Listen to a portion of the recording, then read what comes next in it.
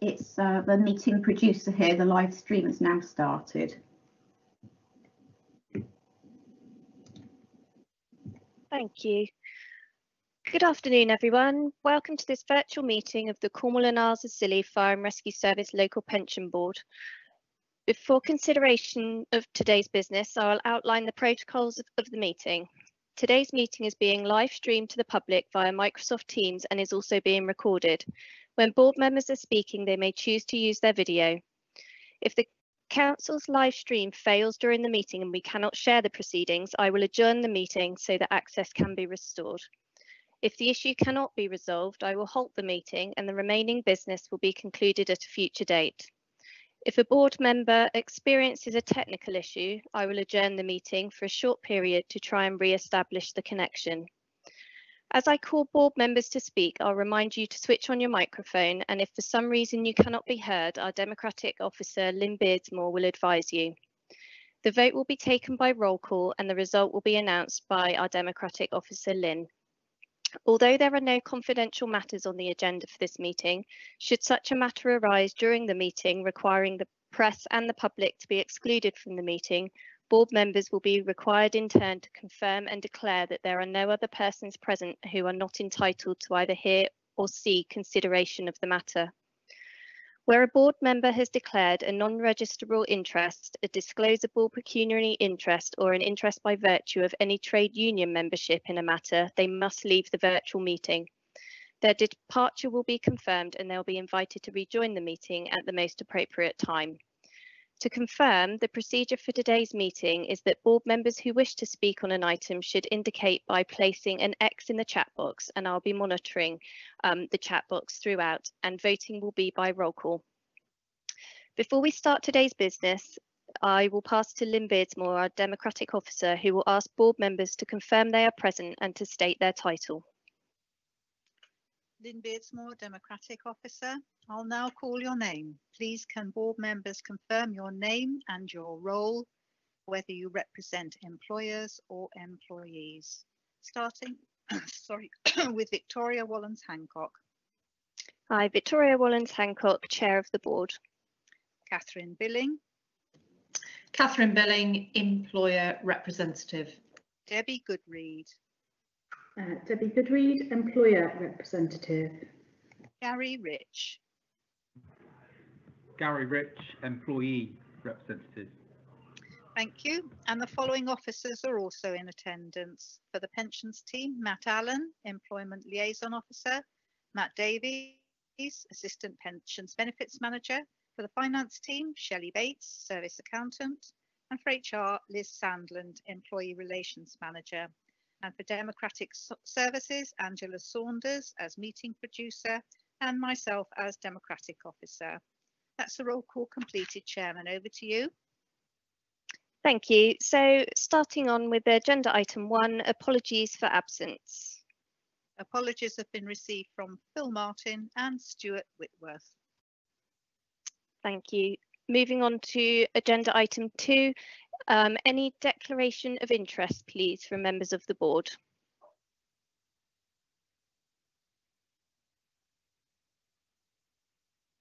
No, thank you. So moving on to agenda item three, minutes of the previous meeting. So everybody's got the minutes of the previous meeting within their packs. And if we could just go through page by page, and then I will ask for a proposer and a seconder of the minutes. So page one in the pack. Page two. Page three. Page four. And page five. So if I can ask for a proposer and seconder to put an X in the chat box.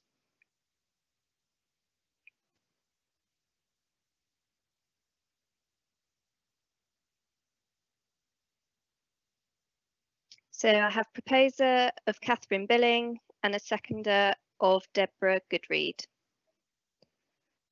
The Democratic officer will now conduct the roll call vote. When your name is called, please state if you are for or against the proposal or if you are abstaining. Thank you, Lynn Beardsmore, Democratic Services. Calling Catherine Billing, Yeah, Catherine Billing, for. Debbie Goodread, Debbie Goodread, four. Gary Rich, Gary Rich, four. and Victoria Wallens Hancock. Victoria Wallens Hancock, four. Thank you. That is unanimous, Chairman.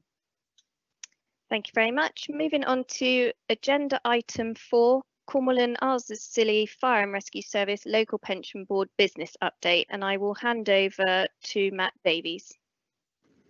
Right, hi all. Um, usual contents in the update, the membership movements, um, the membership movements for the Isles of Scilly as well, update from the Southwestern Wales Officer Group, L, L, the LGA bulletins, the risk register, the breaches log, the complaint log, and, and any other business. Um, so because we haven't had a meeting since uh, February, there's actually two quarters of membership movements. There's nothing really too unusual in the 92 scheme, although we did have one pension credit member, which is a person who has received an award following a divorce, and they actually retired. So the de deferred membership of the 92 scheme has actually gone down by one, and that's the first movement we had in the deferred membership, I think, for a number of years. Um, and we also had two firefighters who were uh, taper protected 92 members that had moved into the 15 scheme who retired. Now they retired at an age where their 2015 membership couldn't come into payment, so they weren't actually recorded in the 92 scheme, scheme statistics because they were members of the 15 scheme. But now they've retired, they've actually come across and become pensioners in the 92 scheme. So it's a bit complicated, but that's why the overall membership has actually gone up uh, in the 92 scheme. Um, 2006 scheme, there's nothing really that unusual over the two quarters. Same with the RDS uh, modified scheme, not a lot going on with that scheme at the moment. And then we had the 2015 scheme. The main thing there is we've actually had uh, quite a few new members join. So over the whole six month period, we got 31 new members in the scheme and not that many leaving, just a few deferreds and a couple of retirements. Uh, onto the Isles of Scilly. Uh, oh, sorry, is there any questions at all on the Cornwall membership? Okay, No tell us now. questions. So Isles of Scilly, we actually had one deferred member um, retire, and that's the only thing that's really occurred in that scheme. So deferred membership's gone down and pensioner membership's gone up. So um, moving on to the Southwestern Wales uh, Pension Officer Group. Now, there's quite a few major things going on with fire pensions at the moment. So there is a little bit of um, duplication, to be honest, because it's going to come up in our pension officers meeting in the LGA updates and bulletins. But I'll try and keep the um, duplication to a minimum. Um, the last meeting we had was in June, which was held virtually, obviously. Um, because of that, pretty much every fund was present and Claire, Claire Hay from the LGA was in attendance to give technical support. She started off by giving us uh, an update from the LGA and the Scheme Advisory Board, um, the virtual LPB members training, which I believe quite a few people from our board attended. And they've also started um, fortnightly catch-ups for pension officers which has been really helpful over the um, the lockdown period, to be honest, because obviously we've had all the Sargeant uh, Matthews cases progressing, but we've been getting fortnightly updates, which we probably wouldn't have had if it wasn't for um, COVID. Um, the next thing was an update that they've provided quite a lot of information now on the LGA Fire website about COVID and how it affects the scheme. A lot of it is reassurance for scheme members because some members are worried about effects on the stock market and such, which obviously don't accept, um, affect defined benefit schemes. Um, but there's quite a lot of Q and A's on there that are quite helpful. Um, there was also an update from um, from her about the Sargeant remedy. It's actually moved on a little bit since then. So um, I'll probably pick it up on one of the later updates with the current position. Um, the protected pension age tax rules have been relaxed during the COVID period, so that would allow any firefighters that were retiring potentially to come back. Uh, it didn't actually affect any um, firefighters in Cornwall. We didn't have anybody that fell into that bracket, but that was quite good to see that HMT were actually bringing in that uh, relaxation. Um, the scheme advisory board has had two virtual meetings since we last met. Um, unfortunately, the chair of that is actually retired, Malcolm Eastwood, which is a big loss because he was great. Uh, he's very, very uh, um, vocal member of the board. Um, and then they considered whether or not we should be including projections on this year's annual benefit statements. You know, obviously there's a um, an awful lot of unknown about how the Sargeant remedy is going to be um, completed. So there is an argument to say that putting state uh, projections on the annual benefit statements is not that helpful because most of the benefits are going to change anyway.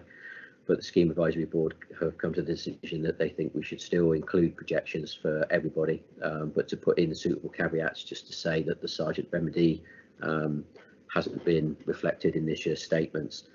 Um, the communications group, which is coming on in a second, have actually put out some wording, which I believe Cornwall Fire Rescue have put around to all the firefighters already, just so that there's no um, expectation of having the Sargeant remedy included on the statements. Um, next thing from Claire was an update from the um, technical group. Again, Sargeant came up, but that was superseded by some notes further on. Um, and the O'Brien Matthews case was discussed again, which is the extension of the RDS modified exercise. I'm afraid we still don't know a great deal of detail about this, other than um, there's going to be quite a large number of firefighters uh, affected by this, I think, because I don't think that there's going to be any time limit to it. So we could be looking to backdate membership for modified retained firefighters going back a long way.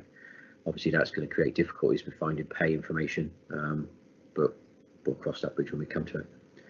Um, the pensions regulator has started to supervise um, two fire and rescue authorities. Now they have communicated to this to say it's not that they are um, inspecting those rescue authorities, they are just trying to understand the firefighters pension schemes uh, better and they feel the best way to do that is to have a relationship with four FRAs. Um, and the last thing that came up at technical group was about the government actuaries department have now issued their specifications for this year's valuation data. Um, the deadline for that is the 31st of December this year, so another thing to keep us busy over the summer. Um, communications group had also met, so Claire provided an update from that group as well. Uh, it covered all the same topics, to be honest. It was COVID, Sargeant Matthews, the annual benefit statements, um, the pensions admin strategy, which comes up in a moment with one of the um, bulletins, tax awareness for people getting promotion, and, and the aggregation guide, which is regarding combining different records within the pension schemes. Uh, the minutes for that weren't actually out by the time we had our meeting, so unfortunately I can't give you much more information about what was discussed.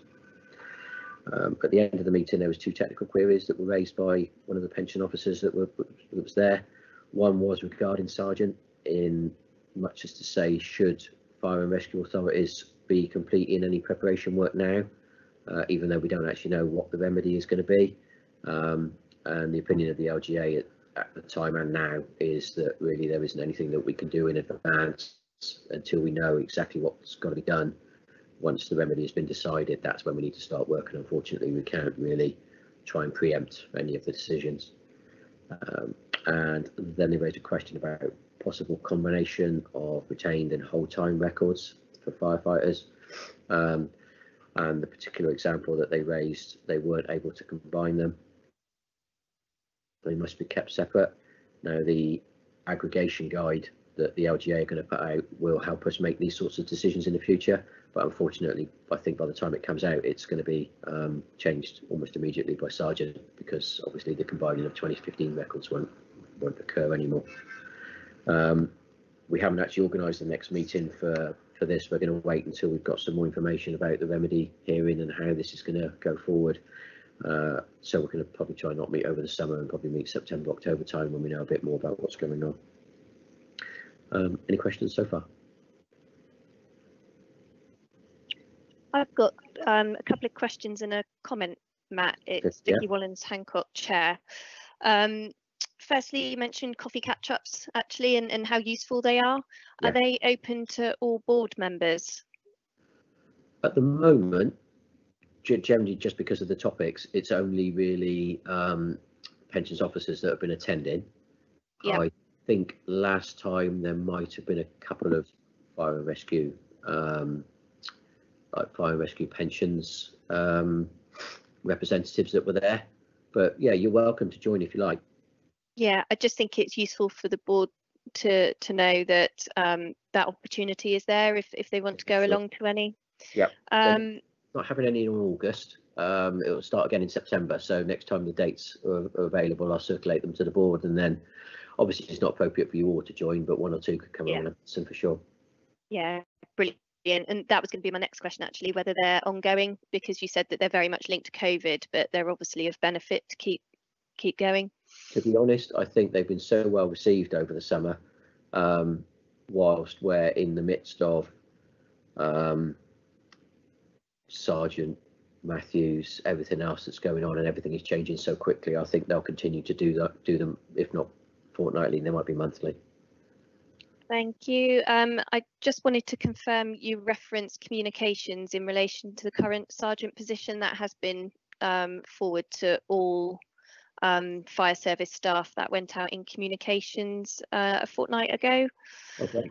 And um, my only other question was in relation to you've mentioned a number of um, upcoming remedies, if you like, that are going to require dealing with. And the question really was around the capacity of the pension administration team to deal with those and Yeah. whether that's um, a risk that we need to consider on the board. Yeah, it's, I mean, it's on the risk register. Um, Yeah. The trouble is that the, the remedy for these situations is going to be so um, complicated. It isn't a case of getting more staff in. Yeah, And I think every, everybody that administers uh, public sector pensions is going to be in the same boat. So there's not going to be additional resource available. So hopefully they take that into account when they put um, the timescales in place for completing the remedies because you know we can't just magic up people to do this. It's going to take take some time and it is going to be very complicated. thank you, Matt. Sorry, I'll let you continue. Lovely. Um, so the next item is the uh, LGA bulletins. Uh, Jade has been circulating these to all the board members. So for future meetings, I'll probably just put links in rather than including the whole bulletin um, because you should already have had them and read them anyway. Um, there's been seven since the last board meeting, so I don't really propose to go through them all. Is there any questions from any of the bulletins um, that the members have got at all? I've just got something to note, uh, Vicky Wallens Hancock Chair. Um, in the last couple of bulletins, it's been really useful um, information in there regarding communications for staff. And I think it's something that we would like to action from this board regarding improving our communications to staff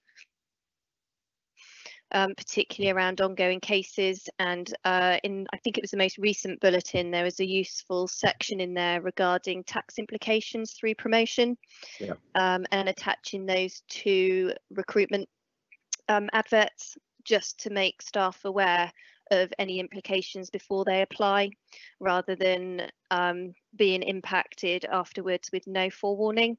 So there are some really useful um, bits and pieces in there that we need to be communicating to our staff. Okay. Um, Deb, Deborah Goodread.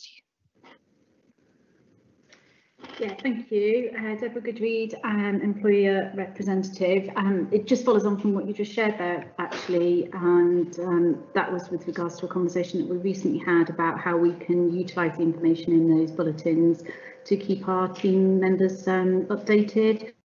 One of the concerns that we did have, though, Matt, was um, especially around the Sargeant remedy, is if we almost put out regular comms to say that we're working on it but haven't yet got the remedies, does that create more queries for your team? Does that result in more people coming to you, or would that be something you would advocate us looking to do?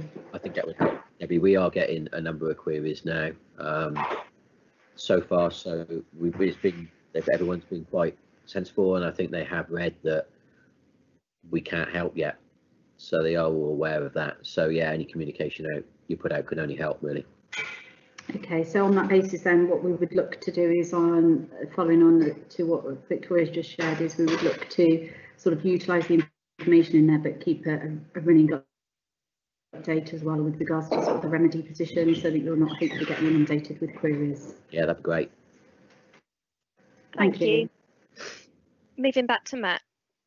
So I'll move on from the, the bulletins if there's no other questions. Um, the latest bulletin 34 um, actually launched a draft uh, pension admin strategy um, and there's a consultation running on that throughout the summer to the 31st of August.